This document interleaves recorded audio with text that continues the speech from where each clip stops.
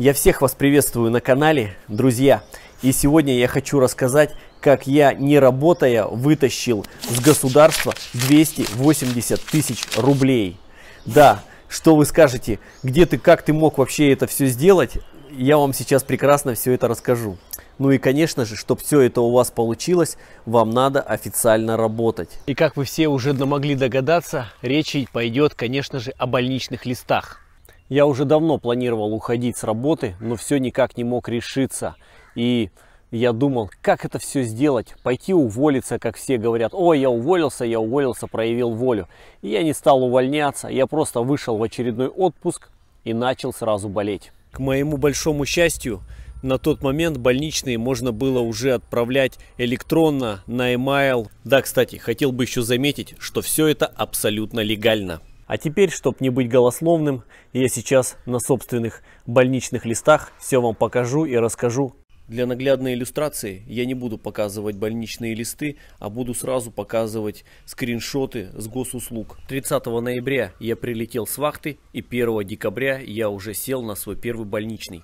Обратите внимание, дата выплаты 4 декабря, так как первых три дня больничный выплачивает работодатель. После вычетов налогов за 26 дней государство мне перечислило 56 814 рублей. Также плюс к этой сумме работодатель перечислил за первых три дня. В конце я скажу примерную итоговую сумму.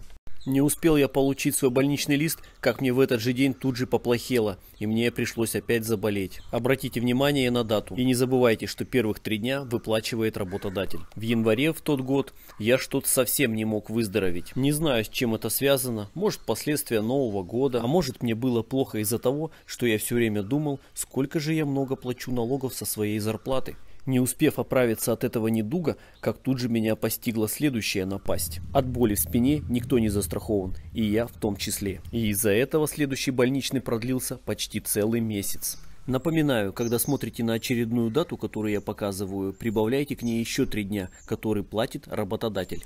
В феврале я думал, что меня немного попустит. Но как назло, Впереди был День защитника Отечества, 23 февраля. Я так перенервничал по этому поводу, что опять слег с подозрением на модную болезнь.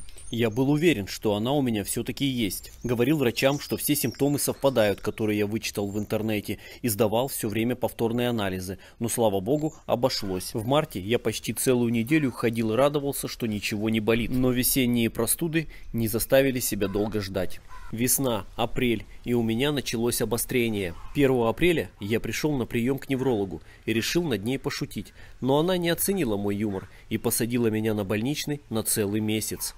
Посчитав выплаты, которые мне заплатило государство, я получил вот такую сумму 259 430 рублей. Плюс к этой сумме я еще прибавил 21 день, которых мне выплачивал работодатель. С этой суммы я тоже вычтил 13% налога и получилось 45,5 тысяч рублей. Более того, я к этой сумме еще не прибавил три дня больничных, которые я провел перед эмиграцией. За эти дни я, естественно, тоже получил деньги. На выходе у меня получилось примерно 130 дней больничных с небольшими перерывами. И за них я получил почти 310 тысяч рублей. Хотелось бы подвести итог. Друзья, если у вас скопился приличный трудовой стаж, как у меня, и вы мечтаете уволиться, не спешите это делать сразу.